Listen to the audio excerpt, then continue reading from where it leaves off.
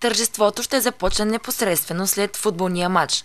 Официални гости на събитието ще бъдат кмета на Стара Загора Живко Тодоров и вице-президента на Футболния български съюз Антон Попов.